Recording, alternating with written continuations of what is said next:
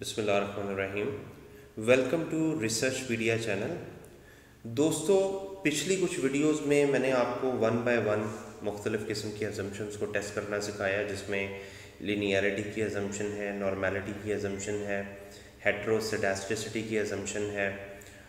इसके अलावा मैंने आपको जो है वो वेरिएबल ओमिशन बाइसनेस चेक करना मॉडल की स्पेसिफिकेशन चेक करना और इसके अलावा अगर आपके डाटा में, आपके वेरिएबल्स में लिनियरिटी की एजम्पन वायलेट हो रही है नॉर्मेलिटी की एजम्पन वायलेट हो रही है तो आप अपने वेरिएबल को ट्रांसफॉर्म कैसे कर सकते हैं?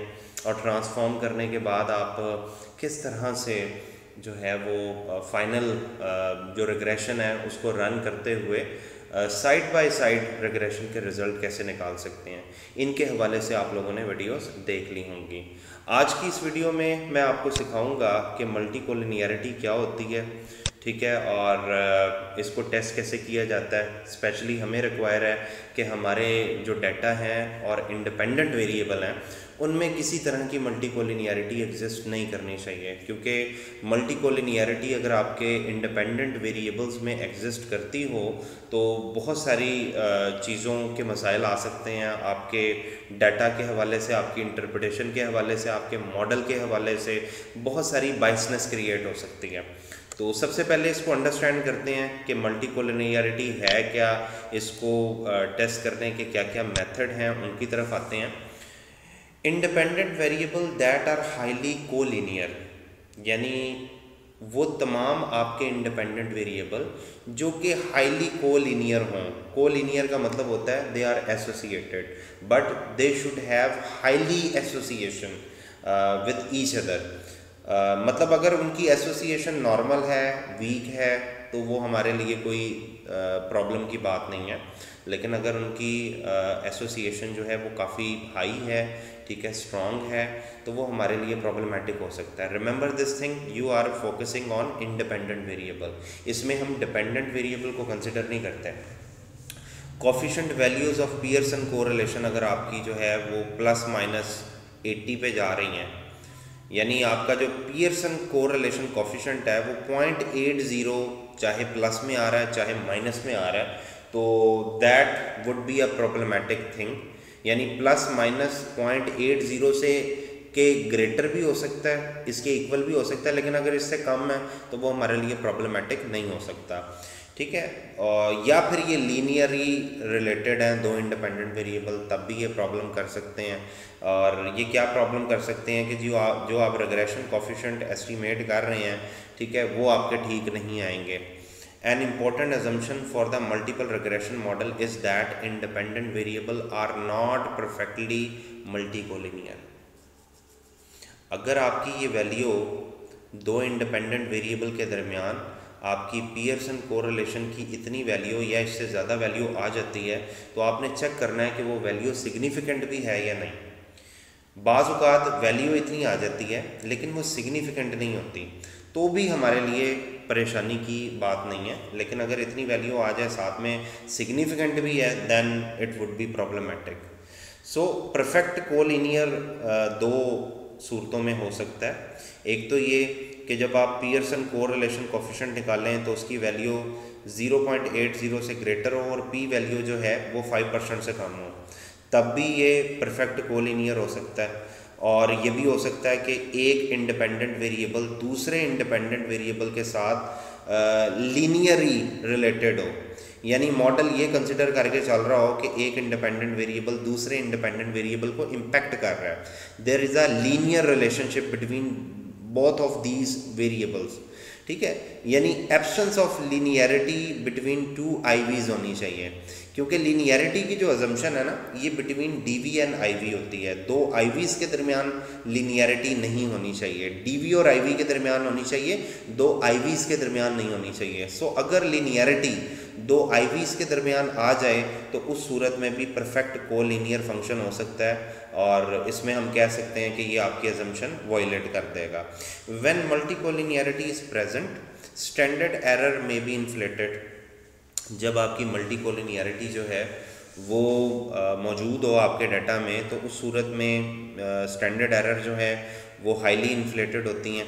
और स्टेटा क्या करता है? स्टेटा ऑटोमेटिकली एक वेरिएबल को जो है, वो ड्रॉप कर देता है। अगर आप ओएलएस का प्रोसीजर अप्लाई कर रहे हैं रेग्रेशन की एस्टिमेशन में तो डाटा जो स्टेटा है, वो खुद ब खुद एक वेरिएबल को ड्रॉप कर देता है। जिसकी वजह से मल्टी कोलिनियरिटी आ रही हो। अब यहाँ पे इसकी डिटेक्शन के दो मेथड हैं। एक तो वही नॉर्मल वाला मेथड है कि आप पीयरसन कोरिलेशन रन करके देख लें। अगर उसमें दो इंडिपेंडेंट वेरिएबल के दरमियान 0.80 या इससे ग्रेटर वैल्यू आ रही हो और साथ में वो सिग्निफिकेंट भी हो तो वो मल्टी कोलिनियरिटी की इंडिकेशन हो सकती है। या फिर दो इंडिपेंडेंट के दरमियान जो है वो लीनियर रिलेशनशिप आ रहा हो, वो भी जो है वो परफेक्ट कोलिनियर हो सकता है। लेकिन इस कंडीशन को टेस्ट करने के लिए मुझे वन बाय वन तमाम आईवीज़ को एक दफ़ा डीवी कंसिडर करके मुझे रिग्रेशन रन करनी पड़ेगी और it is very time consuming procedure Stata में इसका एक बड़ा सिंपल सा प्रोसीजर है, एक वी आई एफ़ वाला मेथड है दूसरा कॉलिन मेथड है। कॉलिन मेथड अभी रिसेंटली इंट्रोड्यूस हुआ है। वी आई एफ़ काफ़ी पुराना मेथड है। वी आई एफ़ मेथड में पहले आप रिग्रेशन रन करते हैं रॉब की कमांड के साथ, उसके बाद आप वी आई एफ़ लिख कर एंटर दबाते हैं तो आपके सामने एक टेबल आ जाता है। उस टेबल में अगर वी आई एफ़ की वैल्यू टेन या टेन से ग्रेटर हो टेन या टेन से ग्रेटर हो तो इसको हम प्रॉब्लमेटिक कह सकते हैं। लेकिन अगर आपकी वैल्यू फाइव से टेन के दरमियान हो वी आई एफ़ की वैल्यू ठीक है तो इसको इग्नोर किया जा सकता है। लेस देन फाइव हो तो इसको भी इग्नोर किया जा सकता है। अच्छा कॉलिन मेथड में क्या है जी? कॉलिन मेथड में आपको रिग्रेशन की कमांड जो है, वो रन करने की ज़रूरत नहीं होती, ठीक है? आपको कॉलिन मेथड को पहले इंस्टॉल करना पड़ता है। अगर आप पहली बार कॉलिन का मेथड इस्तेमाल कर रहे हैं तो सर्च कॉलिन लिख कर आप जो है इसकी कमांड को सर्च करें, इसको इंस्टॉल करें। उसके बाद आपने कॉलिन लिख कर सिर्फ़ इंडिपेंडेंट वेरिएबल जो हैं उनको बीच में इंक्लूड करके एंटर की कमांड दबानी होती है। इसमें जो सबसे इंपॉर्टेंट चीज़ जो हमने नोट करनी होती है, वो कंडीशन नंबर है। ठीक है? अगर आपका कंडीशन नंबर कॉलन की कमांड के तहत जो टेबल बनता है, अगर उसका कंडीशन नंबर टेन या टेन से ज़्यादा है तो इसमें हम कह सकते हैं कि मॉडल जो है वो इनस्टेबल है। ठीक है? ऐसी सूरत में आपको मॉडल को देखना पड़ता है कि वो क्यों इनस्टेबल हो रहा है? तो ये बाजू का ठीक हो जाता है हाईएस्ट वी आई एफ़ वाली वैल्यू को रिमूव करके ठीक है? तो यहाँ पर कुछ रेमेडीज़ हैं। अगर मल्टी कोलिनियरिटी आपके डाटा में पाई जाती हो तो आपने क्या डिसीज़न लेना है? अगर माइल्ड मल्टी कोलिनियरिटी हो तो आपने कुछ नहीं करना आपने इग्नोर कर देना है क्योंकि माइल्ड मल्टी कोलिनियरिटी जो है वो एक्सेप्टेबल होती है। माइल्ड मल्टी कोलिनियरिटी से मुराद क्या है? आ, अगर आपकी वी आई एफ़ की वैल्यू पाँच और दस के दरमियान आए, ठीक है? यानी दस से कम हो, ठीक है? तो आप उसको इग्नोर कर सकते हो। पाँच से कम हो तो भी इग्नोर कर सकते हो। यानी सिर्फ़ और सिर्फ़ आपने तब उसको कंसिडर करना है जब वी आई एफ़ की वैल्यू टेन से ज़्यादा हो। तो वो कहता है कि जी माइल्ड मल्टी कोलोनियरिटी हो तो कुछ नहीं करना। परफेक्ट मल्टी कोलोनियरिटी हो तो क्या करना है? Try to increase the sample size अगर आपका सैंपल साइज़ छोटा है तो आप उसको इंक्रीज कर दें, ठीक है? अगर आपने सिर्फ़ फॉरकास्टिंग करनी हो डाटा की फॉरकास्टिंग करनी हो, जैसे कि टाइम सीरीज़ डाटा में हम करते हैं, हम सिर्फ़ वैल्यूज़ को फोरकास्ट करना चाह रहे होते हैं कि हमारी नेक्स्ट पीरियड की या नेक्स्ट टाइम की जो वैल्यूज़ हैं वो अपवर्ड आएँगी डाउनवर्ड आएँगी। अगर सिर्फ़ आपने फोरकास्टिंग करनी हो और परफेक्ट मल्टीकोलिनियरिटी एग्जिस्ट कर रही हो तो आप कुछ मत करें। फॉरकास्टिंग अलाउ होती है मल्टीकोलिनियरिटी के साथ। इसी तरह अगर आपका सैंपल साइज़ जो है वो किसी वजह से इंक्रीज़ ना किया जा सकता हो, जैसे कि मैंने पहले बताया था कि अगर परफेक्ट मल्टीकोलिनियरिटी जो है वो एग्जिस्ट कर रही है तो try to increase the sample size लेकिन अगर किसी वजह से सैंपल साइज़ इंक्रीज़ नहीं किया जा सकता due to time and cost concentrate तो भी आप कुछ ना करें।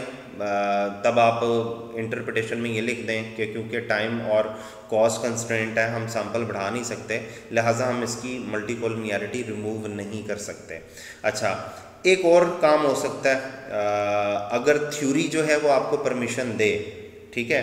लाइक जो आप थ्योरी यूज़ कर रहे हैं, अपने अपनी स्टडी को जो है वो एस्टीमेट करने के लिए, अपने डिपेंडेंट वेरिएबल को एस्टीमेट करने के लिए, जो भी बैक एंड थ्योरी आप यूज़ कर रहे हैं, अगर उस थ्योरी में किसी भी जगह इस चीज़ की परमिशन दी गई है कि आप मल्टी कोलिनियरिटी के साथ चल सकते हैं, या आप मिसिंग कॉफिशन के साथ चल सकते हैं तो ऐसी सूरत में आपने क्या करना है? Do nothing but to drop one of the IVs causing multi collinearity यानी ऐसी सूरत में आपने क्या करना है? या तो कुछ ना करें, या अगर करें तो एक आईवी जो है, वो आप ड्रॉप कर दें, जिसकी वजह से मल्टी कोलिनियरिटी आ रही है। ठीक है? Perfect multicollinearity multicollinearity found between two IVs अगर दो आईवीज के दरमियान मल्टी कोलिनियरिटी आपको मिल जाती है, पहले तो ये चेक कर लेना है कि थ्योरी अगर परमिशन दे रही है तो आप कुछ ना करें। अगर थ्योरी में इसके हवाले से कुछ नहीं लिखा तो आपने कोशिश ये करनी है कि अगर दो वेरिएबल्स के दरमियान मल्टी कोलिनियरिटी आ रही है तो उनमें चेक कर लेना कि लेस सिग्निफिकेंट कौन सा है। यानी जिसकी सिग्निफिकेंस वैल्यू कम हो तो उसको आपने कोशिश करना है ड्रॉप कर लेना है। ठीक है? या फिर जिसका वी आई एफ़ वैल्यू ज़्यादा है, उसको ड्रॉप कर दें। ठीक है? Do not drop the variable if the theory makes this variable compulsory to include in the model अगर थ्योरी ये कहती है कि ये वेरिएबल कंपल्सरी है, इस मॉडल में शामिल करना, जैसे डिमांड का फ़ंक्शन है, उसमें इंडिपेंडेंट वेरिएबल प्राइस को रखना लाजमी है। ठीक है, लिहाजा अगर प्राइस का किसी के साथ लीनियर परफेक्ट लीनियर रिलेशनशिप आ जाता है तो हम प्राइस का वेरिएबल ड्रॉप नहीं कर सकते because it is a compulsory variable तो आपने ये चेक कर लेना है कि जिसको आप ड्रॉप करने लगे हैं, वो थ्रेटिकली बैक एंड में जो थ्योरी मौजूद है, उसके लिहाज से वो कंपलसरी वेरिएबल तो नहीं है। ठीक है, इसी तरह परफेक्ट मल्टी कोलिनियरिटी अगर हो तो आप वेरिएबल की ट्रांसफॉर्मेशन करके देख लें। ठीक है? कुछ वेरिएबल ऐसे होते हैं, जैसे कि इंपोर्ट और एक्सपोर्ट है। अगर आपने इन दोनों को अलग अलग as a independent variable use किया हुआ है, एक आपने आईवी रखा हुआ है इंपोर्ट एक एक्सपोर्ट ठीक है, दोनों को कंबाइन करके देख लें। इसको, इस, इसके ज़रिए भी वेरिएबल ट्रांसफॉर्मेशन हो जाती है। ठीक है, बाज़ दफ़ा आप दो वेरिएबल्स का नेट वेरिएबल यूज़ कर लेते हैं, जैसे इंपोर्ट में से एक्सपोर्ट माइनस करें तो नेट एक्सपोर्ट आ जाती है। ठीक है तो ये भी ट्रांसफॉर्मेशन है। आप लोग वैल्यूज़ ले लें, आप स्क्वेयर ले लें, आप जो है स्क्वेयर रूट ले लें, आप फ़र्स्ट डिफरेंस ले लें। यानी आप वेरिएबल की ट्रांसफॉर्मेशन करके भी परफेक्ट मल्टीकोलिनियरिटी को कंट्रोल कर सकते हैं। There are other ways transformation की टेक्निक क्योंकि मैं सिखा चुका हूँ कि आप किस किस तरह से ट्रांसफॉर्म कर सकते हैं। तो ये कुछ अदर वे भी हैं ट्रांसफॉर्म करने के। इसी तरह, अगर आपका टाइम सीरीज़ डाटा है, उसमें मल्टी कोलिनियरिटी आ जाती है क्रॉस सेक्शनल डाटा है, उसमें मल्टी कोलिनियरिटी आ जाती है तो उसका एक सोल्यूशन ये है कि टाइम सीरीज़ और क्रॉस सेक्शनल को कंबाइन करके आप पैनल में कन्वर्ट कर लें। क्योंकि जो पैनल डाटा होता है वो मल्टी कोलिनियरिटी को कंट्रोल कर लेता है।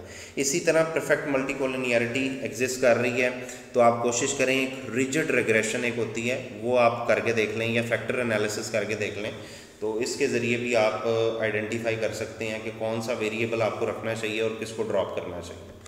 ठीक है? तो मैं आता हूँ अब इस पूरे प्रोसीजर की तरफ़ कि इसको कैसे अप्लाई करते हैं। पहला प्रोसीजर जो ट्रेडिशनल मेथड है वो ये है कि जनाब आप पियर्सन को रिलेशन जो है वो इंडिपेंडेंट वेरिएबल्स की इंडिपेंडेंट वेरिएबल्स की Pearson correlation with significance run करके देखें, अगर उनमें दो वेरिएबल्स के दरमियान कॉफिशेंट की वैल्यू 0.80 आ जाए और पी वैल्यू 5 परसेंट से लेस देन हो तो वो दो वेरिएबल्स जो हैं वो प्रॉब्लमेटिक हो सकते हैं, उनमें से किसी एक को ड्रॉप करना पड़ सकता है। तो यहाँ पे मैं जनाब जो मेरे इंडिपेंडेंट वेरिएबल हैं, उन पे पियर्सन को रिलेशन जो है, वो रन करके देखता हूँ। मेरे पास पियर्सन को रिलेशन की कमांड है पी डब्ल्यू कोड और मेरी ये जो इंडिपेंडेंट वेरिएबल है, सिर्फ़ इन पे मैं को रिलेशन रन करके देखता हूँ कि क्या फ़र्क पड़ता है। जितने भी मेरे इंडिपेंडेंट थे, इसमें डिपेंडेंट को शामिल नहीं करना, सिर्फ़ इंडिपेंडेंट ठीक है? कॉमा लगाया और सिग लिखा। ये देखें, ये इंडिपेंडेंट वेरिएबल्स जो हैं, उन पे पियर्सन को रिलेशन रन हो गई। अब मैंने इसमें चेक क्या करना है? मैंने चेक करना है कि दो इंडिपेंडेंट वेरिएबल के दरमियान जो कोफिशेंट को रिलेशन की वैल्यू है, वो 0.80 के बराबर या इससे ग्रेटर हो और पी वैल्यू जो है वो पाँच परसेंट से कम हो। ये दो चीज़ें मैंने चेक करनी है। तो सबसे पहले तो मैंने यहाँ पे चेक कर लेना है कि कोई कॉफिशेंट मेरा 0.80 से ग्रेटर तो नहीं है। तो ये 11 परसेंट है, ये दस परसेंट है, ये चालीस परसेंट है, ठीक है? ये पंद्रह परसेंट है, ठीक है? ये पाँच परसेंट है। मतलब इनको मैं देखता जाऊँ तो इसमें मुझे एज सच कोई कोफिशेंट ऑफ़ कोर रिलेशन जो है वो 80 परसेंट के नज़दीक नज़दीक नज़र नहीं आ रहा, ठीक है? ये एक 64 परसेंट पर जा रहा है, लेकिन स्टिल ये 80 परसेंट पर नहीं है, ठीक है? अगर ये फ़र्ज़ करें 84 परसेंट होता और नीचे से ये सिग्निफिकेंस भी हुआ हुआ है तो फिर मैं ये कह सकता था कि साइज़ या रैम। इन दोनों में से किसी एक को ड्रॉप करना पड़ता है। अगर थ्योरी मुझे परमिशन दे, अगर थ्योरी कहती है कि जी रैम रखो तो फिर मैं साइज़ को ड्रॉप करूँगा। लेकिन यहाँ पे क्योंकि ये 80 परसेंट से कम है और सिग्निफिकेंस बहरहाल ये है हाईली सिग्निफिकेंट है, पाँच परसेंट से कम है, लेकिन क्योंकि इसकी कोर रिलेशन की वैल्यू 80 परसेंट से कम है, लिहाजा हमें यहाँ पे टेंशन लेने वाली कोई ज़रूरत नहीं है। और भी बाकी हम देख लेते हैं। तो यहाँ पे भी कोई एज सच वेरिएबल मुझे नज़र नहीं आ रहा, जिसकी 0.80 वैल्यू हो और जिसको ड्रॉप किया जा सकता हो। ये देखें, ये 52 परसेंट है, लेकिन स्टिल 80 परसेंट से कम है। सिग्निफिकेंट है, लेकिन 80 परसेंट से कम है। इसी तरह ये 44 परसेंट है 45 परसेंट ये भी 80 परसेंट से कम है। ये 46 परसेंट है 80 परसेंट से कम है। लिहाजा यहाँ पे कोई भी ऐसा वेरिएबल मुझे नज़र नहीं आ रहा, जिसको ड्रॉप किया जा सकता हो। According to Pearson correlation method ठीक है? दूसरा मेथड होता है, वो होता है कि आप आईवीज के दरमियान लीनियरिटी चेक कर लें। तो ये वन बाय वन चेक करनी पड़ती है. It is a long procedure मैं लीनियरिटी को चेक करने के हवाले से एक वीडियो अपलोड कर चुका हूँ. आप उसको देख सकते हैं और उसके अकॉर्डिंगली अपने इंडिपेंडेंट वेरिएबल के दरमियान लीनियरिटी को टेस्ट करके देख लें. अगर लीनियरिटी इंडिपेंडेंट वेरिएबल्स के दरमियान मौजूद नहीं है तो आपको टेंशन लेने वाली कोई बात नहीं है. परफेक्ट को नहीं पाई जाती. आपकी एजम्पन वायलेट नहीं होगी. इसके अलावा हमारे पास जो ट्रेडिशनल मेथड है वी आई एफ़ वाला मेथड है ठीक है और कॉलन मेथड है। वी आई एफ़ वाले मेथड में हमने क्या करना है? पहले रिग्रेशन रन करनी है रॉब के साथ यानी उसमें डी वी आई वी सारे ऐड करने हैं। उसके बाद हमने वी आई एफ़ लिख कर एंटर दबाना है। तो ये मेथड मैं यहाँ पर ट्राई करके देखता हूँ। ये मेरे आई वीज़ हैं लेकिन पहले मुझे डी वी चाहिए रिग्रेशन ठीक है। आ, मैं इसमें से वो ले लेता हूँ जो कि जिस पे सारी एजम्पन फिट आ रही हैं, वो आर ओ ई है। इसमें मैं इसके साथ ले लेता हूँ जी मेरे इंडिपेंडेंट वेरिएबल ठीक है, ये इंडिपेंडेंट वेरिएबल आ गए। और उसके बाद कोमा लगाकर वी सी ई रॉब ठीक है, ये कमांड मैंने रन कर दी। ये कमांड रन करने के बाद मैंने क्या करना है जी, मैंने वी आई एफ़ लिखना है।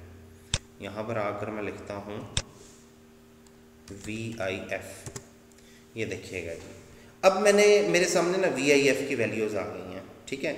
मैंने क्या चेक करना है इन वैल्यूज़ में? मैंने चेक करना है कि वी आई एफ़ जो है, वो टेन से ग्रेटर है ईच वेरिएबल का या इससे कम है?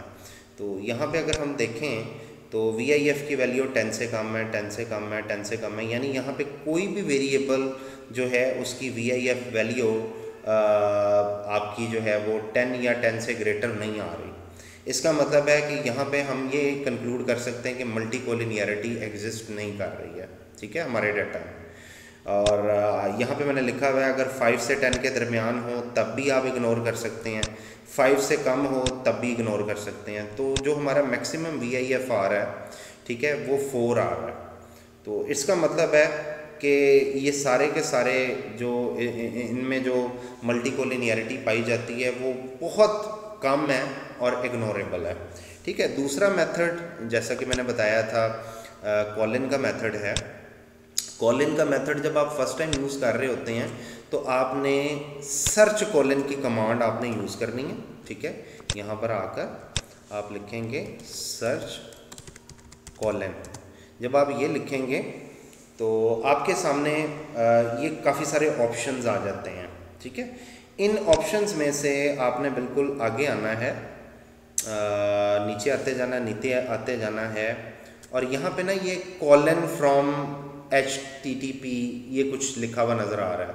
आप इसको क्लिक करेंगे तो ये आपके सामने जो है वो एक ऑप्शन जो है वो ओपन कर देगा और याद रखिएगा कि इस कमांड को यूज़ करने के लिए आपका नेट से कनेक्ट होना ज़रूरी है। अगर आप नेट से कनेक्टेड हैं तभी ये आप कॉलन की कमांड को यहाँ पे इंस्टॉल कर सकते हैं। तो यहाँ पे क्लिक हेयर टू इंस्टॉल ये बटन दबा दें।